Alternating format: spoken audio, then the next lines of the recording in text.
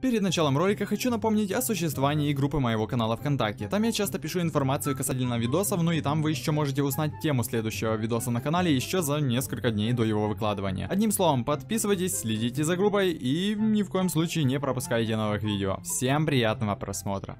Всем привет, с вами Джейкоб. Сегодня я бы хотел поговорить о учебе и о ее пользе. Эта рубрика накипела, поставьте лайк, ну а я начинаю. У каждого свои представления о учебе. Для кого-то это получение новых знаний, для кого-то вещь, без которой нельзя, блин, прожить. Но для меня же учеба это просто не больше, чем пустая трата времени. У меня много мыслей касательно этой темы, и все я не смогу уместить в этом видео, поэтому просто постараюсь э, обосновать свое мнение касательно вот этого, блин, всего. Школа это место, которое для многих школьников ассоциируется с адом. Пусть школа это и не самое страшное, что может быть, но ее полезность практически не занимает никакой ниши в нашей жизни. Это по сути конвейер, который превращает вас в робота, который запрограммирован на какие-то функции, не более того. Безусловно, да, школа дает фундамент знаний. Добавлять, отнимать, умножать и делить это должен уметь каждый, поскольку это занимает неотъемлемую часть нашей жизни. Но все, что начинают преподавать за пределами 5-6 класса, это просто хуй тучи бесполезной информации, которая вас заставляют учить и запоминать, хотя пройдет время и вы ее попросту забудете, так как она вам будет, ну, тупо нафиг не нужна. Я отучился все 11 классов школы и могу сказать, что из всей информации, которую нам преподавали, в голове отложилось какие каких-то, блин, несчастных 5%. Я рад, что хотя бы где-то в классе 8-9 я одумался и начал забивать на домашку, потому что понял, что это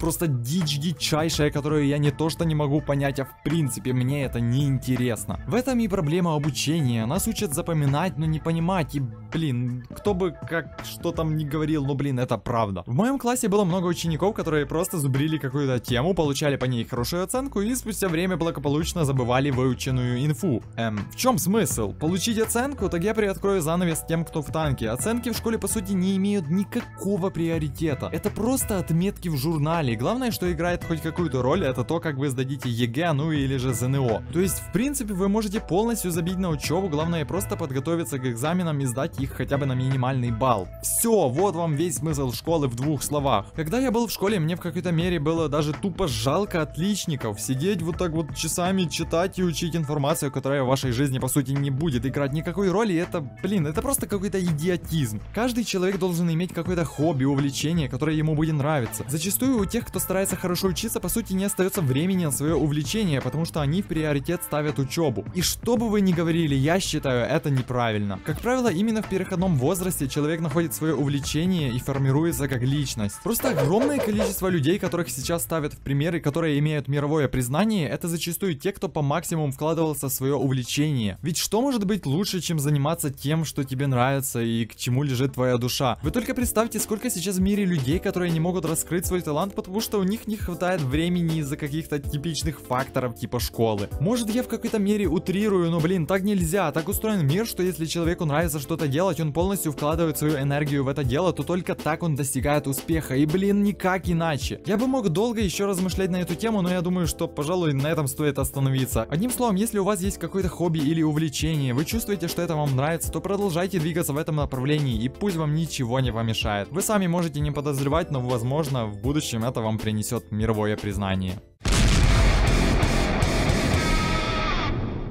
Пишите в комментарии, есть ли у вас какое-то хобби и нравится ли вам учеба, можете ли вы совмещать хобби с учебой, и мне будет интересно почитать ваши комменты. А с вами был Джейкоб, это была рубрика Накипела, спасибо всем за внимание, всем удачи и всем пока.